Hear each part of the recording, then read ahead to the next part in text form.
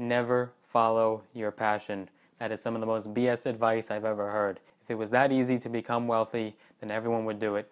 Do not do it. What you don't see is the amount of hours and years it actually takes to actually get there. Just because you like something doesn't mean there's money to be made from it. Chances are it's just going to be a hobby, it's not going to be your full on income. It's living in a fairy tale world where you don't need to do any of the grind, any of the hustle, and any of the doubt. Do you really think any of the wildly successful entrepreneurs out there got to where they are today simply by following their passion?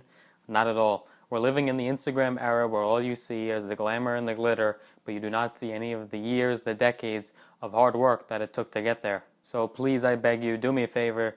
Do not listen to that advice. It does take discipline, it takes work, and you have to put in the effort. Hope you enjoyed the video. Hit that like button, hit that subscribe button so you don't miss any future videos.